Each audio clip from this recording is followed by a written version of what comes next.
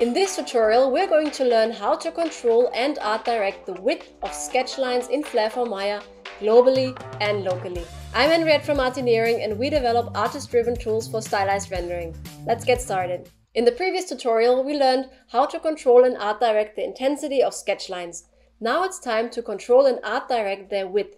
If you have seen the Toonline tutorials on controlling and art directing the width, Feel free to skip this tutorial as sketch lines use the exact same attributes and art direction tools. If you have not or just need a refresher, let's quickly go over it again from a sketchy perspective. The global sketchline attributes are set on the Flair Globals node, which can be selected through the globe icon on the Flair shelf. This will also show the attribute editor where you will find the line and sketch globals. The line width attribute controls the default width of toon and sketch lines by either making lines thinner or wider. Toon and sketch lines can only be as wide as the line width max attribute directly underneath.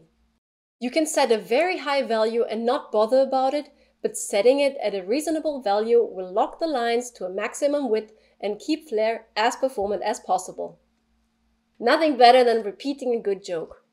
Now, as you probably suspected, this would not be Flair without art direction when using Flair materials.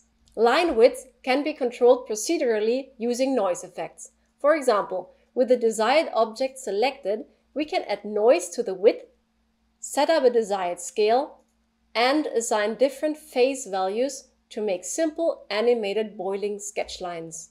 If you like sketching things up, Give us a thumbs up and make sure to subscribe to our channel with the bell icon to be notified about future tutorials like this. Back to art directing. We can also paint different line widths with vertex effects. For this, select Mesh Objects and paint the line width modifications directly onto the geometry to make lines wider or thinner. Just keep in mind that these effects can only be seen when the painted part of the 3D model actually generates a line. Finally, lines can also be controlled using proxies. So you can place a geometry proxy anywhere in the scene and have it control the width of the lines to your liking.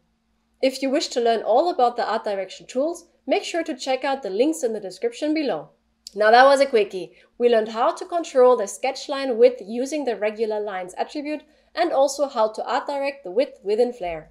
The width of sketch lines can also be set according to the distance to the camera, so that objects that are closer or further away have different widths.